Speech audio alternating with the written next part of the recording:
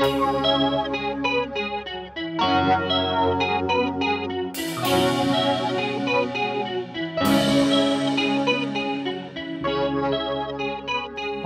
my name's Espresso, and the next, whoa, blink of a fish's eye, they don't have eyelids, so it's going to be a long time. No, it's not. The next blink of a fish's eye, what we're going to do is enhance how you currently jig, improve your jigging technique, and learn the number one question that you need to ask before you drop a lure, a bait, anything in the water. The number one question, we'll go over that in a minute. The technique will be done by Edward Lee, absolute professional, master lure fisherman and jigger from around the world. He'll be with us in just a couple of minutes. But in the meantime, you've got me. Sorry. So, lures, fishing, jigging. How are we going to improve our technique? Okay, we're going out fishing tomorrow morning. Yes, let's go. So, what do fish eat? Live bait. Fish eat fish. That's it. Live, whole, in part, healthy, injured. They eat live bait. Simple put, right? Fish eat fish. So what about lures, jigs, soft baits, all that type of thing? We're here to talk about jigging. Okay, live bait, we're trying to take out live bait tomorrow. Yeah, I mean, let's go fishing. We're trying to take out live bait. But lures are enhanced live bait.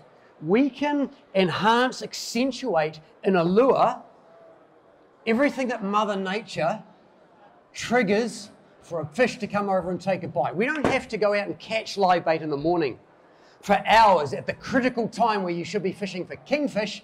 You're mucking around with sabiki rigs catching mackerel. Oh, joy! So, lures, soft bait, whether it's slow pitch and all sorts of different names, these are live bait. So you, the fisherman, M slash N, non-gender specific, mm, fisherman, you're out there with me tomorrow morning, we're going fishing, Fish eat whole fish, but we're using lures. So with your lures, what we have is an array of menu items. Instantly, in a tackle box, we haven't gone to catch it in the morning, we've got it a week or two before, and we're set up. Simply put, we are now using the technical aspects, science, what we know about fish. Well, we know, for instance, that snapper have the similar eyes to us with rods and cones seeing motion, color just like us. They can even hear a voice like us, except it's more like Barry White, where they can hear us kind of down there. They don't get all the high stuff. So we know where their pitch is, we know what they're looking at. Now, we as fishermen can trick a fish into taking a bite, whether it's hungry or not.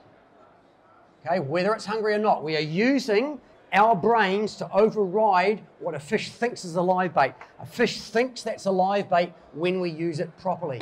So the lures, you're not using up 20,000 tons of bait fish that's just taken out of the around the coast of New Zealand. You're not taking away the bait or food chain supply for predators. What do you think happens to predators? You don't have bait smell on you. You don't stink and reek of dead, stinking old bait when you come home. There is no smell. Your cleanup in the boat is standing there with a hose just to wash salt off and scales from the fillets off the fish. There is no smell.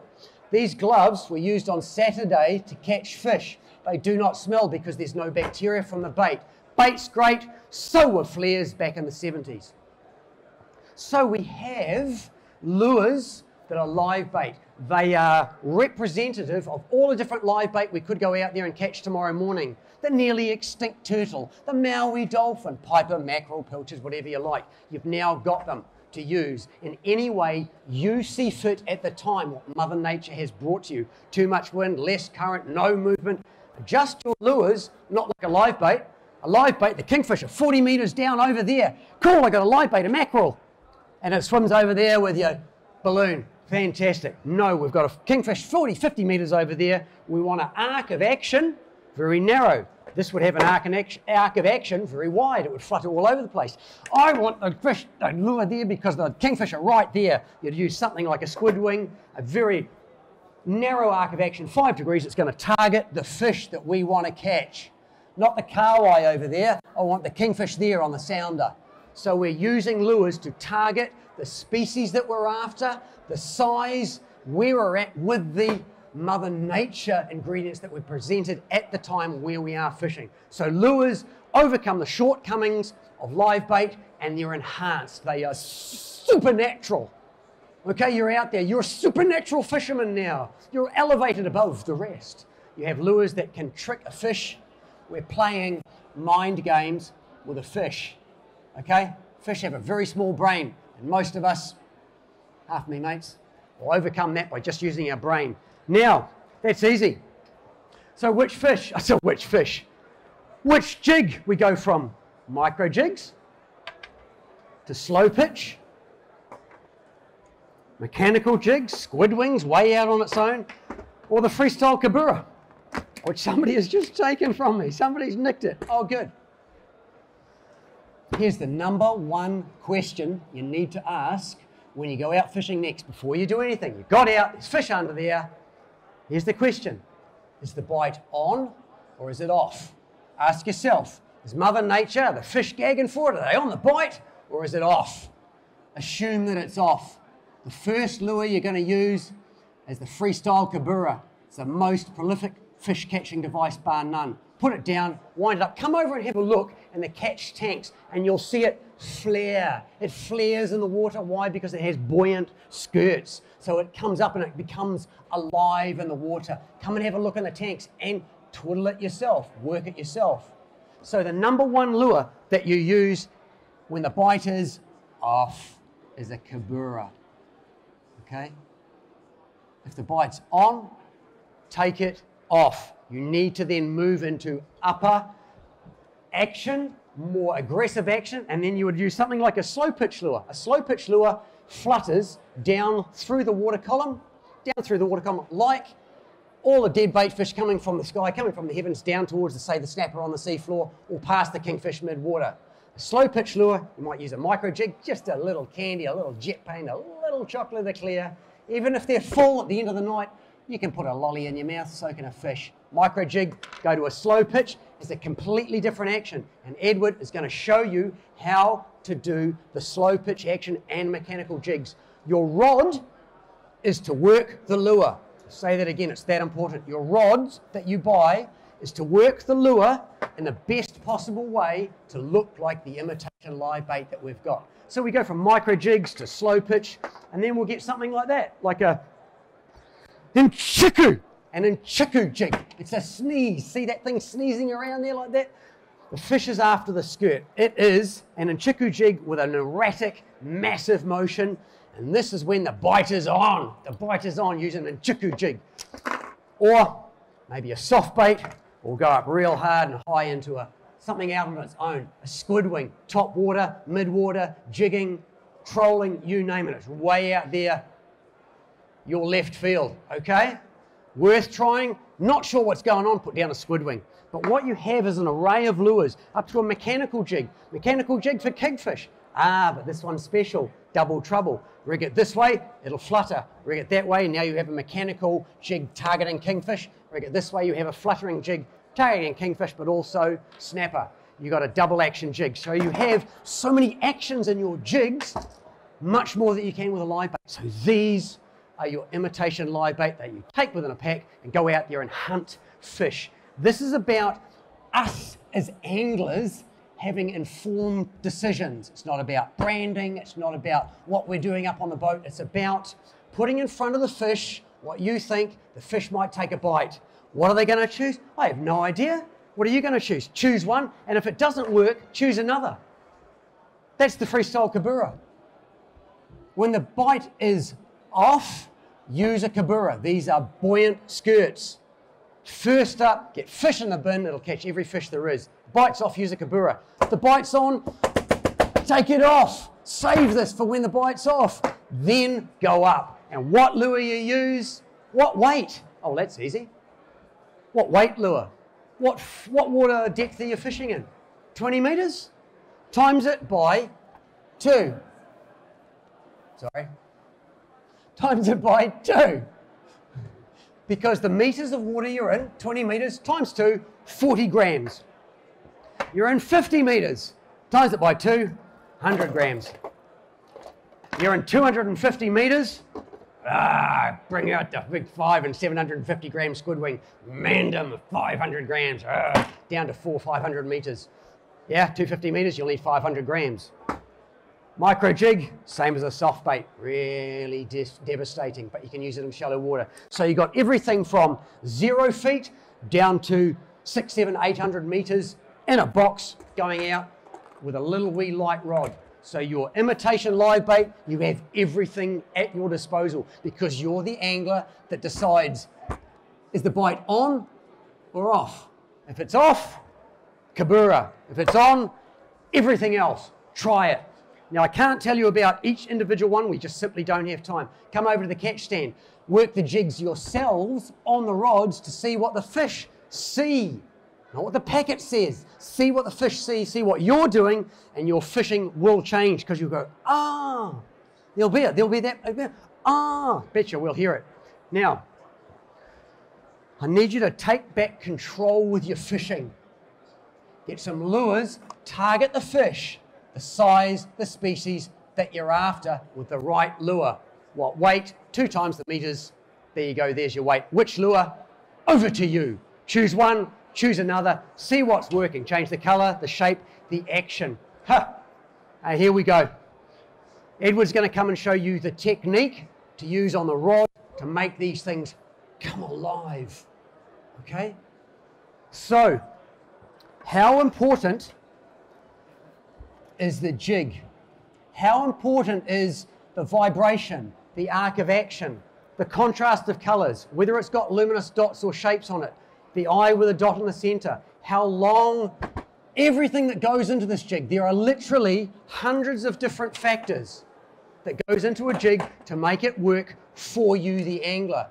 But there's only one thing that you need to know when you're buying a lure, a jig, a soft bait, micro jig. How important is that lure? It's everything. Did you hear it? It's everything. That jig is your life. You go out there and you've got a packet of stinking old pilchard. Great. You're probably going to come home with stinking hands, not a lot of fish or a lot of throwbacks. The jig, what the fish sees, is everything. That's the only thing the fish sees your boat, your sounder, your rod, your reel, they can't see a thing. They see the lure and how it's presented in front of them. And that is your job. You know the weight, you know what you to use when the bite's off, and then when the bite's on, slow pitch, squid wings, soft bait, micro jigs, mechanical jigs, your choice. Overcome the fish's brain with your own, choose a lure, put it down there, target the fish you want, and catch the fish. So the jig is everything. Okay? Get the right lure, the right weight, the right depth. Your fishing success massively changes like that. Now I'm going to have up here in just a second Edward Lee. He is the master professional fisherman. He is a master of jigging, of lure techniques. He is a worldwide known jigging master. His technique is outstanding. Look at what he's doing and what he's saying of how you're working the rod. The rod is to work the lure. Work the lure well, dreams do come true. You don't have to hold the fish close to the camera. You're struggling. That's the difference. Okay? Edward's going to be here in 60 seconds to show you the technique to work the lures. Yeah? You ready? Hi everyone, my name is Edward Lee. Yeah, Nice to meet you guys. So today I'm here just gonna teach you guys uh, some technique, the movement about how you uh, work out your rod and the reel when you're jigging. So I had this Kansai rod of catch. Uh, this is a slow pitch rod, a Kansai rod, which uh, we do slow jigging. It's a little bit uh, different than the jigging style that you guys does. I know New Zealander, normally when you're jigging, you go like that. Very fast, very fast, very fast, very fast, very fast. Okay, that's totally different. Now we do slow jigging. We do it slow when you jig, you use your wrist.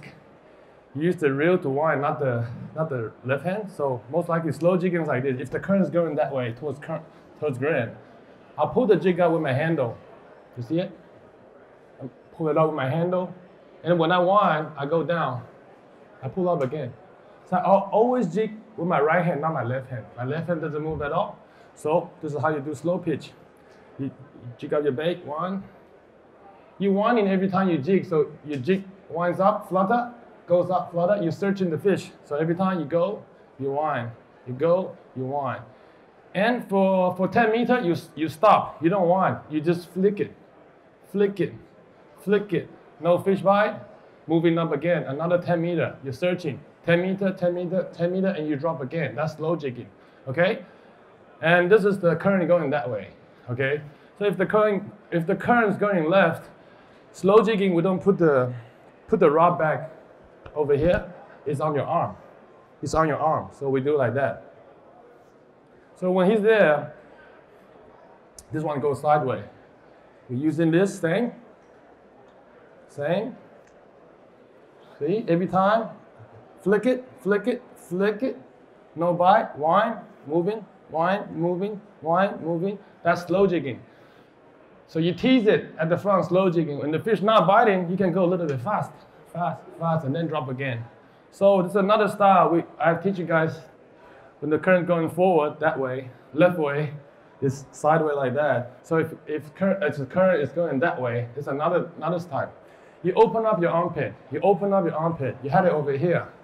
You're actually fishing like that. You're pushing the handle with your hand. You jig like this.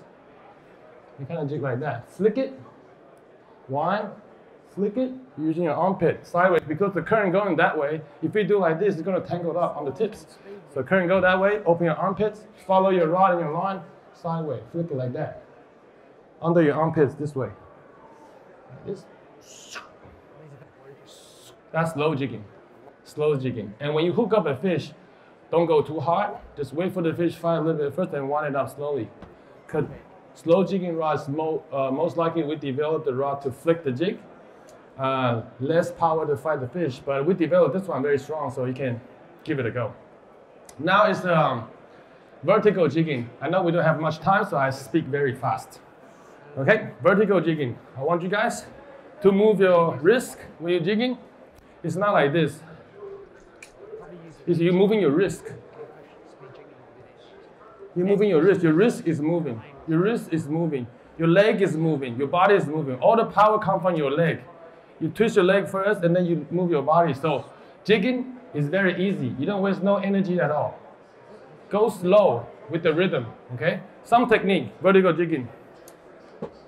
Like that overhead. Okay. Hits the bottom, flick it.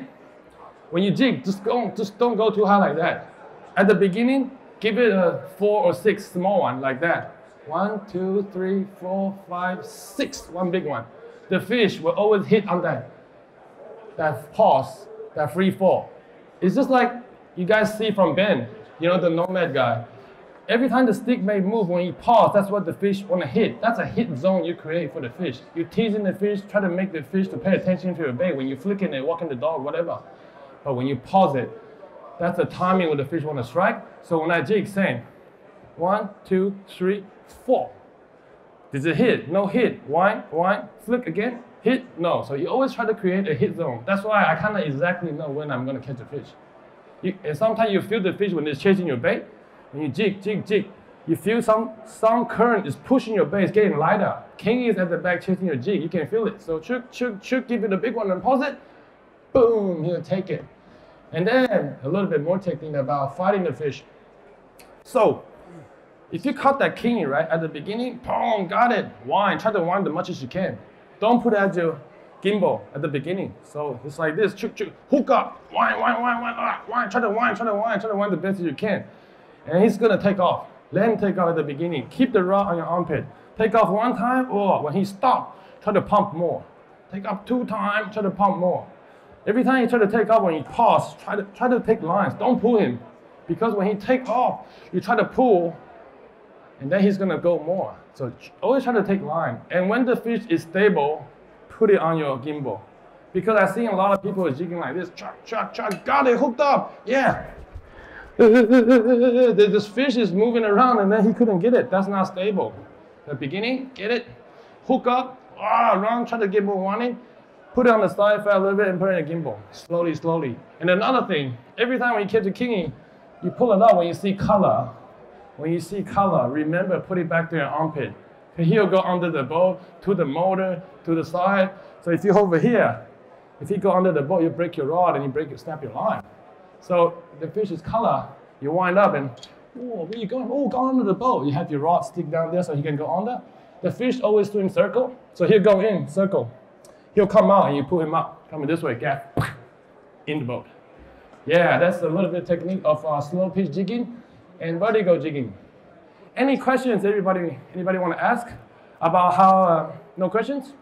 Okay, I come up with one question to everyone. How do you set up your drag before you drop your jig?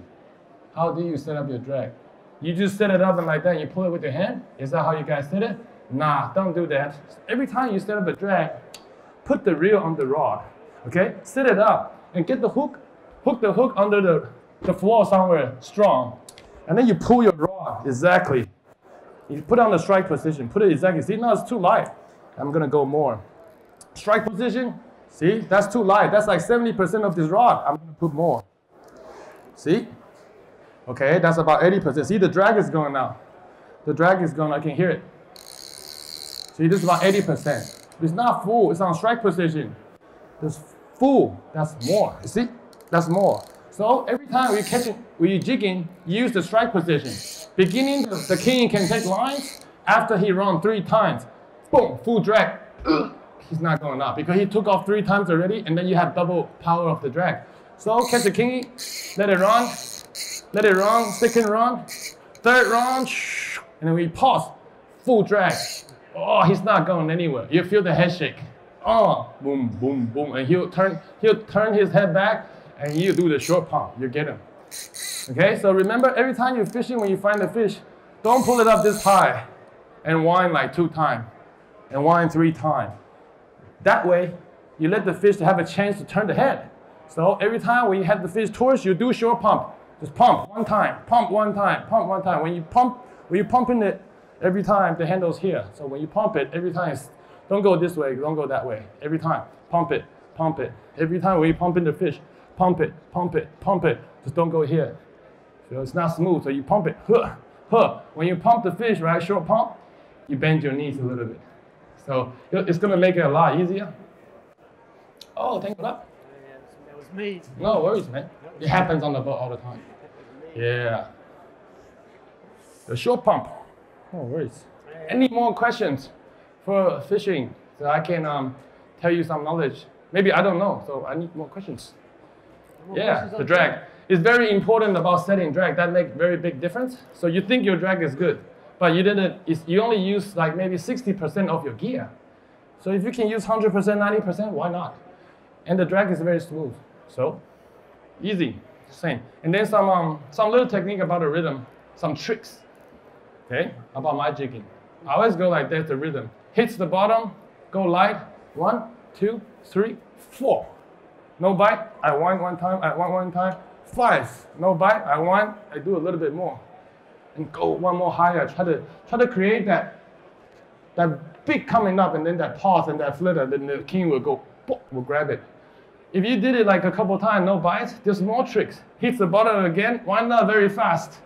25 meter and hits the bottom again, why not very fast?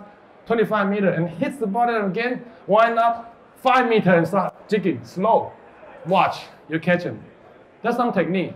Imagine there's a school of fish hits the bottom, fast, something very fast, they cannot take it. They just excited, whoa, whoa, whoa, something run around, and then the, the, the school will come over you. Like, oh, something run around, more fish will come. And then on the third drop, tease them.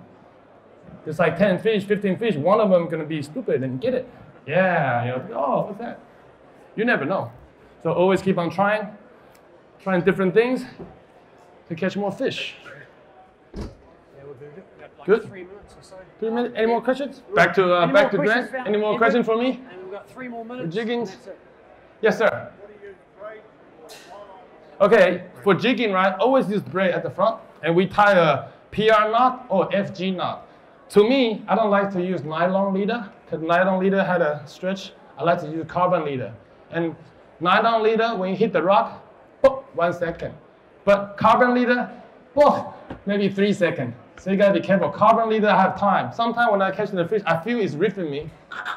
I just open up the spool. Another technique. When you find the fish, right? When you When you feel the reef is touching your bait, just open up your spool. Why? Because the fish is going down for what? You pulling him on the top, the fish is going down. Now you let it go. Where's the pressure come from? The fish had no idea I'm going down. And, oh, hey, he's gonna go flat and he's gonna come up. I had had it so many times, the big king, big monster king, I cannot handle because 150 meters of water. I caught that fish about up on the water 10 meter. First run, second run. When every time he stopped, I cannot took, take one wind. I cannot wind my line. So second run, I noticed if the third run, it's gonna snap and hit the rock. So after the second run, I just open up my spool, hold on to it, slow, very light. And then you feel the head shake, he, he swim away, and you slowly, slowly picking him up slowly, you know, trick him slowly, So He'll, he'll come up the bottom of like 40 meters, and then full drag, fight. But be careful. I have time up on the water 40 meter, full, full drag, fight. Boom, 40 meter, go straight down to the bottom, pass, snap. It happens, big fish, you never know. So now, if I got him up on 40 meter, there's no fighting. Slowly, slowly bring him up on the surface, and where's the captain? That's how you land big ones. You know, big one is very smart. Here we go. Here, uh, give it back to. Uh, thank you, everyone. Thank you, thank you, thank you, everyone. I give that to Grant.